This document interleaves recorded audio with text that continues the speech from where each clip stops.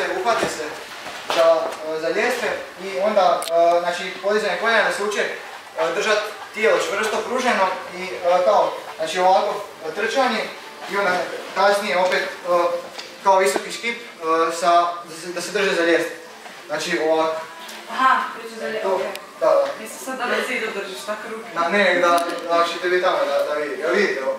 Da. Znači ramena, u visini ramena uvijek drže ruke i opet da se drže, da se nauče držati ravno, znači ne smiju krčiti laktove nego pružene ruke i ovaj, za koljena i opet isto sad može dva varijanta, ali neko, djeca, dosta djeci radi, kad kažem, znači gore visoki skip, onda oni ovako natrče ovako, kod da žogiraju, znači uvijek mora se ova vježba znači najviše da bude, da se podižu koljena gore, znači da se odmah uče kad trče, znači da, da, se, da se drži ravno tijelo.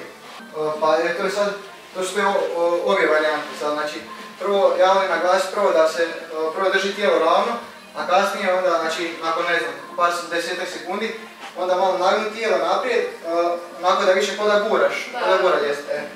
Znači to, to su zapravo dvije varijante. Znači prvo jedna normalno da, da je tijelo ravno, onda kasnije malo aktivnije, da, da se na najnogne prema. Dalje još na, na ljestvama za djecu isto volim dosta raditi za fleksibilnost ramena. Znači ruke uhvatiti isto sad odnosno ovo malo niže, da kad, kad se sagnu da budu, da budu ramena ravna i ovdje da bude pravi kut. I onda znači zibovi za, za istezanje ramena, to sad znači možeš raditi zibove, a možeš samo sagnuti, držati i isto za, na primjer, dobra vježba za špagu,